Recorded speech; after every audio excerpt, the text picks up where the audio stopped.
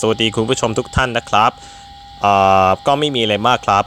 พอดีว่าเมื่อเช้านี้ผมได้อัพแอปแอปพลิเคชันที่ชื่อ PlayStation จาก Play Store เสร็จแล้วทีนี้หลังจากอัปเดตแล้ว พอเข้าไปในแอปแล้วเนี่ย มันเป็นอย่างนี้ครับ เราจะไปชมกัน จะบอกว่าอันนี้จะเป็นการรีวิวหลังจากอัปเดตแอป PlayStation นะครับเนี่ยพอเข้ามาแล้วก็จะมีนี่เลยมาถึงก็ช่องแรกคือ What's New What's New คืออเอาง่ายๆเลยก็คือว่าตอนเนี้ยเฟรนเราใน PSN ID เราเนี่ยเขาร่วมอะไรบ้าง มีเก็บโทรฟี่ได้อะไรบ้างประมาณนี้เป็นต้น เหมือนกรณีเราเข้า Play 4นี่แหละ จะมี What New อยู่ว่าเพื่อนของคุณตอนนี้ได้โทรฟี่หรือไลฟ์อะไรนู่นนั่นนี่ไปบ้างเนาะต่อมาคืออันที่ 2 ช่อง 2 ตรงนี้นะครับ ก็คือรายชื่อเพื่อนที่เราแอดเอาไว้ แล้วก็รายชื่อคนที่ follow ผมอยู่อยู่ที่ช่องนี้ following เนี่ยเดี๋ยวนะครับ อ่าเนี่ยฮะ ก็คือเขากำลัง following ผมอยู่ประมาณนี้ แล้วก็มี request request ก็คืออย่างเช่นว่า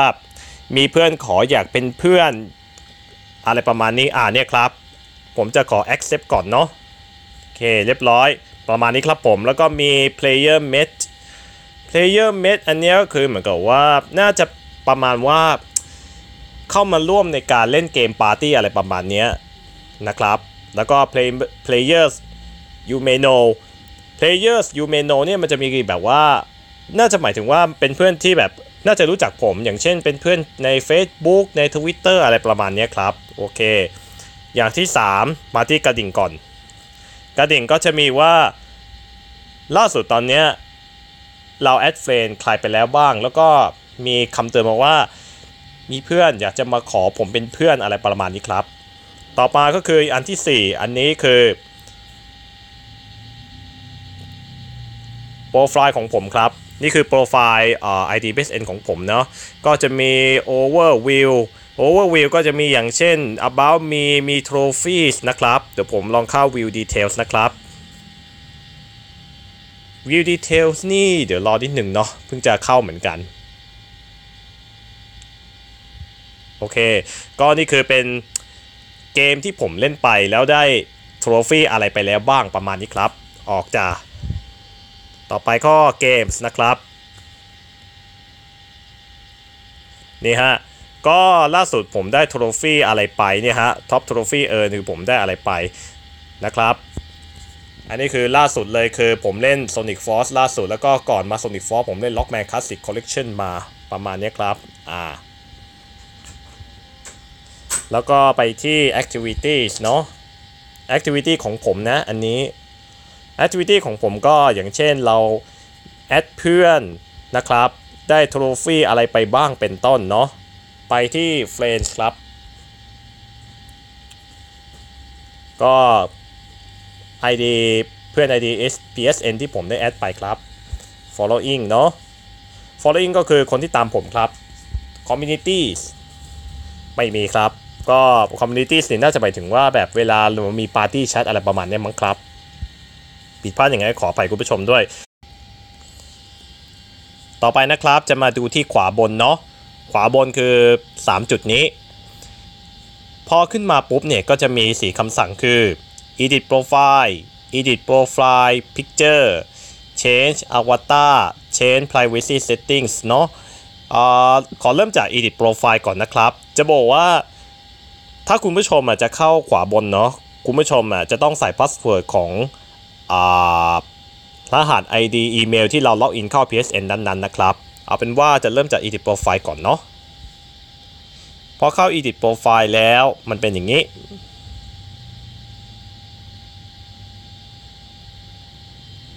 อันนี้ต้องใช้อินเทอร์เน็ตในการเข้าไปนะครับนี่ฮะก็จะมีเปลี่ยนชื่อ อันนี้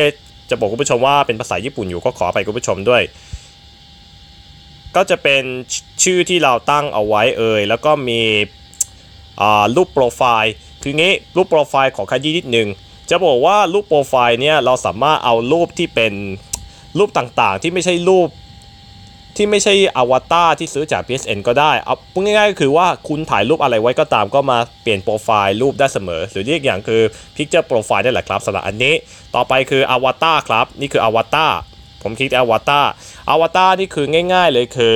เราเปลี่ยนอวตารที่เราโหลดมาจากอาเนี่ยครับ ก็คือเราโหลดมาจาก PS Store แล้วก็มาเปลี่ยนอวตารอะไรนู่นนั่นนี่ว่ากันไปครับประมาณนี้ อืมแล้วก็ถ้าเป็นโปรไฟล์อันเนี้ยโปรไฟล์อันเนี้ยก็คือเราจะเป็นอย่างนี้ แล้วก็เลือกไปที่อันนี้ครับ ภาษาแต่อันนี้ต้องขอไปคุณผู้ชมด้วยพอดีผมใช้ PSN ญี่ปุ่นเป็นเมนหลักก็เลยว่าฟอนต์มันก็เลยจะเป็นภาษาญี่ปุ่นล้วนๆ แล้วก็เคยเคยขยี้ไปแล้วว่า ยังไงซะถ้าคุณเนี่ยเปลี่ยนภาษาเครื่องไม่ว่าจะเป็นภาษาใดก็ตาม แล้วใช้ PSN ญี่ปุ่นเป็นเมนหลักเนาะ เวลาเข้าเมนูการเซตติ้งของ BSN ญี่ปุ่นเนี่ย จะต้องจะเป็นเทคญี่ปุ่นทั้งเซตหมด ประมาณนี้ครับ โอเคกลับมาที่เรื่องเปลี่ยนรูปก่อนพอเราอะจะเลือกรูปใส่ปุ๊บเนี่ยแล้วก็เปลี่ยนรูปได้เลยประมาณนี้ครับพอแค่นี้ โอเค เดี๋ยวเราออกจากตรงนี้เลยแล้วก็เปลี่ยนการแนะนำคำแนะนำตัวนะครับจิโกโชไคหรือการแนะนำตัวเนาะแล้วก็นี่เป็นภาษาที่ว่า เราอะใช้ภาษาอะไรบ้างเป็นเมนหลักอะไรประมาณนี้ครับ ออกเลย ต่อไปนะครับก็คือ edit profile picture edit profile picture ก็อย่างที่คุยกันเมื่อสักครู่นี้นะครับ เช่น avatar ก็เช่นกัน แล้วก็มาถึงคำสั่งที่ชื่อว่า change privacy settings ผมอธิบายง่ายๆเลยก็คือเป็นการเซตความเป็นส่วนตัวว่า อย่างเช่น message message เนี่ยเราจะรับจากใครบ้างหรือไม่รับจากใครเลยเอ่ย ทรฟี่จะให้ใครเห็นทรฟี่เราบ้างประมาณนี้ครับ โอเค นี่คือยกตัวอย่างเบื้องต้น และปิดท้ายคลิปนี้เราจะมากดไอคอน PS หรือ PlayStation นะครับเดี๋ยวลองกดอะไรเพิ่มเติมหน่อย โอเค ไม่มีละ เสร็จแล้วทีนี้พอเข้ากด PlayStation ปุ๊บเนี่ย ก็จะมี Event Trophy Guest Sign In Redeem Code Setting นะครับ เดี๋ยวดูอีเวนต์ก่อนอีเวนต์เนี่ยอย่างเช่นก็จะมีอีเวนต์เกมว่าตอนนี้จะมีอีเวนต์อะไรอยู่ประมาณนี้ครับ แล้วก็มี trophy trophy อันนี้น่าจะดูอ๋อดูโปรไฟล์ของเราเองโอเค กลับไปที่เดิม Guest Sign In นี่ขอผ่านละกัน อันนี้ไม่ทราบจริงๆ ส่วน Redeem เขาก็ขอแล้วในฐานที่เข้าใจละกันคือ การใส่รหัสพวก PS Plus บัตรเติมเงินของ PSN โซนนั้นๆนะครับ Setting เนาะขอดู Setting ก่อนก็จะมี Account Information Privacy Setting PSN Service Status นะครับ มี Block Player Block Player น่าจะหมายถึง Block ID เพื่อนที่เราแอดมาครับ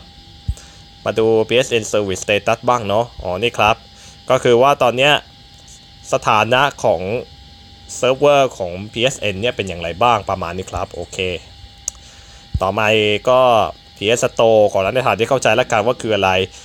แล้วก็ครับ PS Plus PS Plus นี่ก็คุณผู้ชมคงทราบดีว่าคืออะไร Sale and Campaign ก็อย่างเช่น ในตอนสมมุติว่าตอนนี้มีลดราคาอยู่แล้วก็เข้าไปดูว่าเฮ้ยตอนนี้มีเกมอะไรลดราคาบ้างเป็นต้น Ranking หรอ Ranking ขอดูนิดนึงนะครับไม่ได้ครับ เพราะว่าต้องบอกคุณผู้ชมว่าตอนที่ผมอัดเข้า PS Store เข้าทางแอปเนี้ย ก่อนหน้านี้เคยอัด PS Store เนี่ย ตอนที่เราเข้า PS Store ทางแอปเนี้ย หน้าจอดำครับ เพราะฉะนั้นก็เลยอะสู้ไม่เข้าดีกว่าอาจจะจอดำครับ เอาเป็นว่าถ้าตอนนี้ไม่จอดำแล้วก็ยังไงก็ขอไปคุณผู้ชมนาทีนี้ด้วยนะครับ ต่อไปก็เมสเซจเมสเซจก็คุยเป็นคุยเมสเซจทั่วไปเนาะ Messenger Community เอ่ย Second Screen Second Screen คือคุณผู้ชมคงทราบดีว่าแบบมันจะมีการแบบเราเล่นเกม Play 4เนี่ย ไม่ใช่สักแต่ว่าเล่นแต่ทีวีจอใหญ่แต่ว่าเราสามารถมาเล่น บนมือถือได้ คือหมายถึงว่า คุณจะดูคุณจะดูที่แบบตัวละครขยับเนี่ยทางมือถือเนี่ยแล้วเราก็ใช้รีโมทเพลย์เนี่ยคิดว่าน่าจะเป็นอย่างนั้นนะฮะ อันนี้ถ้าผิดพลาดขออภัยด้วย ก็พูดง่ายๆ คือ second screen ก็คือเราดูจออย่างเช่นเราเล่น Uncharted ยู่เนี่ยแล้วเราดูกันแล้วพี่เดรกเดรกกำลังเดินเดินเดินเดินอย่างนี้อยู่นอกจากจอใหญ่แล้วก็ดูจอเล็กได้ประมาณนี้ ส่วน Remote Play ก็ขอละฐานที่เข้าใจละกันก็คือ จะบอกว่าเราสามารถใช้มือถือเราเนี่ย แต่ว่าต้องบอกคุณผู้ชมก่อนนะครับ ต้องเป็นของ Sony เท่านั้น ยกตัวอย่างเช่น XZ Premium ที่กำลังออกอยู่ตอนนี้เนาะ แล้วก็ XZ1 น่าจะด้วยมั้ง อันนี้ผมไม่แน่ใจเนาะ โอเค ก็ประมาณนี้ แล้วก็ PS Video PS Video เนี่ยอ่อมันจะเป็นการดูพวกเทเลอร์เกมมั้งอะไรประมาณนี้ อันนี้ผมยังไม่เคยเข้า ก็ประมาณนี้ละกันสำหรับ แอป PlayStation หลังจากที่อัปเดตเมื่อเช้านี้นี่เองนะครับ เอาเป็นว่าใครที่ใช้แอปนี้อยู่แล้วก็ลองอัปเดตกันดู มีการเปลี่ยนแปลงไปพอสมควรเลยทีเดียว โอเค ไปแล้วครับผม สวัสดีครับ